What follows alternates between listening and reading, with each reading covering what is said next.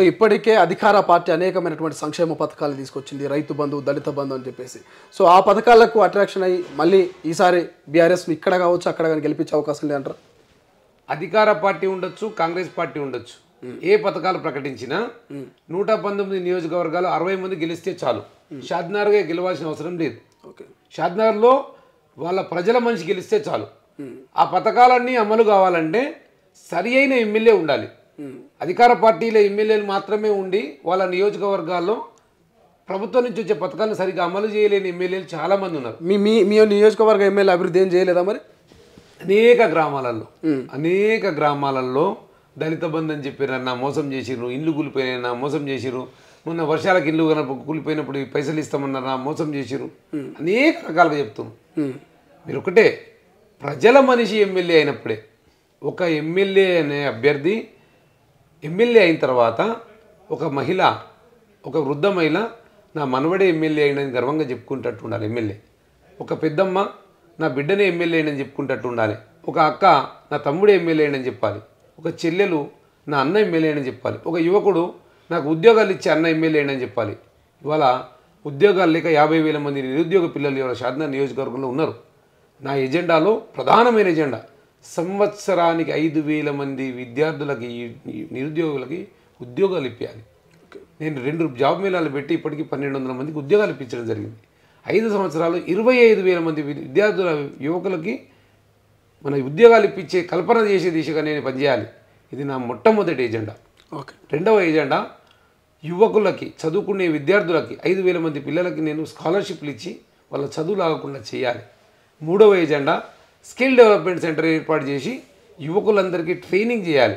నాలుగో ఎజెండా గ్రామాల్లో ఉన్న వృద్ధులందరికీ ప్రతి మూడు నెలలకి ఒక వైద్య శిబిరం ఏర్పాటు చేసి వాళ్ళకి మై ఉచితంగా మందులు అందజేసి వాళ్ళకి ఏ ట్రీట్మెంట్ ఉన్నా హెల్త్ కార్డులు ఇప్పించి వాళ్ళకి ట్రీట్మెంట్ చేయించడం. ఐదవ ఎజెండా స్కూళ్ళల్లో మౌలిక సౌకర్యాలను డెవలప్ చేయడం. ఓకే. ఆరవ ఎజెండా రైతులందరికీ కూడా రెండు ఎకరాల లోపున్న రైతులందరికీ కూడా ఫసల్ బీమాని నా చే నా సొంతంగా బీమా ఇచ్చి సౌకర్యం ఇచ్చి నేను అమలు చేయడం. ఏడవ ఎజెండా ఆ గ్రామాల్లో ఉన్న నిరక్షరాస్యులైన మహిళలని సంఘాలు సంఘాలు చేసి వాళ్ళందరికీ స్వయం స్వయం ఉపాధి వచ్చే మార్గాన్ని అన్వేషించడం. ఇట్లా నా ఎజెండా పూర్తిగా ప్రజల మీద ఆధారపడి ఉన్నది పూర్తిగా ప్రజల యొక్క క్షేమం కోసం ఆధారపడి ఉన్నది నేను త్యాగం నా త్యాగం ప్రజలందరికీ తెలుసు. ఓకే. నేను అమలు కేంద్రాలు పెడితే అరవై రోజులు అరవై రోజులు రెండు వందల ఇరవై గ్రామాలలో సొంతం నా భార్య పిల్లలు మా కుటుంబం తొమ్మిది వేల లీటర్ల అంబలిని రాత్రి మూడు గంటలకు లేచి మళ్ళీ మరుసటి రోజు రాత్రి పదకొండు గంటల వరకు ఒక మిషన్ లాగా పనిచేసి అందజేసినాం. అట్లాంటివి చేయాలంటే డబ్బులుంటే సరిపోదు. ప్రజల మీద పిచ్చి ప్రేమ ఉండాలి. అది మాకుంది. ప్రజలకు కూడా అభిమానం ఉంది.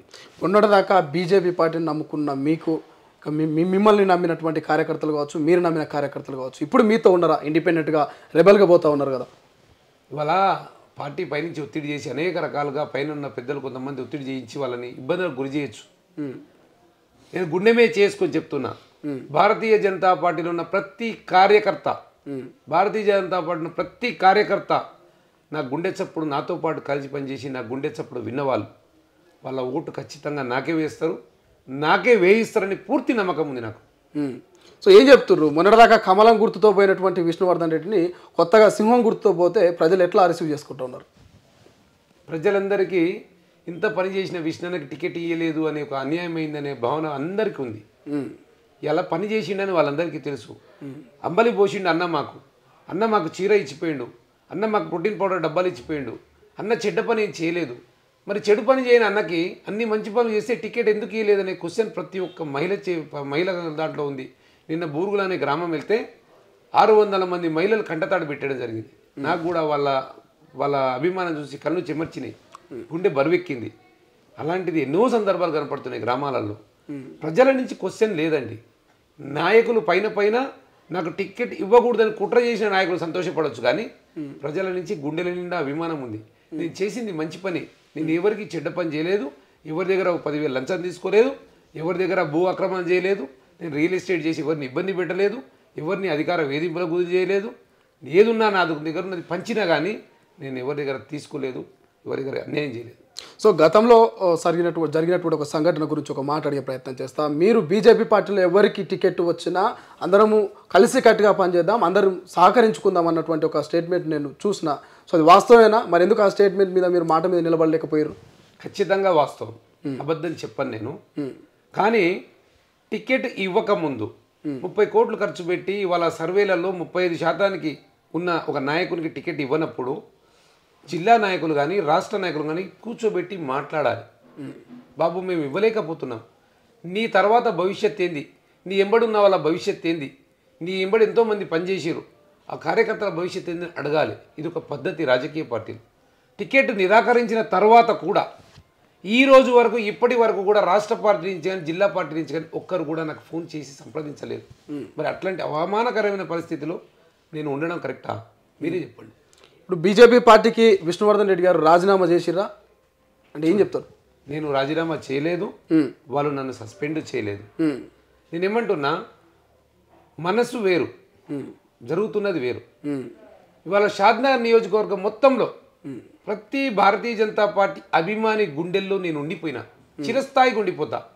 ఎందుకంటే తెలంగాణ రాష్ట్రం మొత్తంలో తెలంగాణ రాష్ట్రం మొత్తంలో భారతీయ జనతా పార్టీ కోసం ముప్పై కోట్ల రూపాయలు ఖర్చు పెట్టుకుని ప్రజలకి కాళ్ళ వంద సార్లు కాళ్ళు మొక్కిన ఏకైక మనిషిని విష్ణువర్ధన్ రెడ్డి ఒక్కడే మాత్రమే.